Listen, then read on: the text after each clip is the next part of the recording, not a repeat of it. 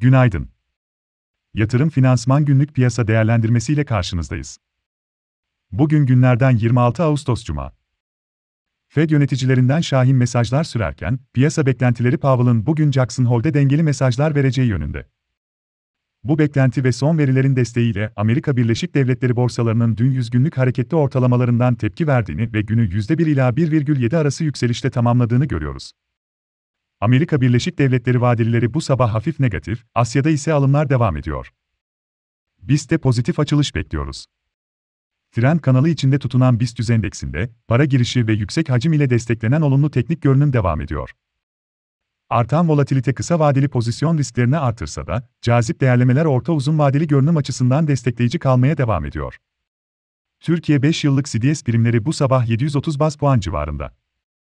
BIST 100 endeksi için 3150, 3200 ve 3260 direnç, 3110, 3060 ve 3000 destek. Ajandada ise içeride ve Avrupa'da bugün gündem sakin.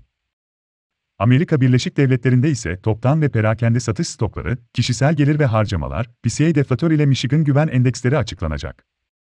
Fed Başkanı Powell, Jackson Hole sempozyumunda konuşacak, fakat konuşma metni daha erken yayınlanabilir. Yatırım finansman olarak bol kazançlı bir gün dileriz.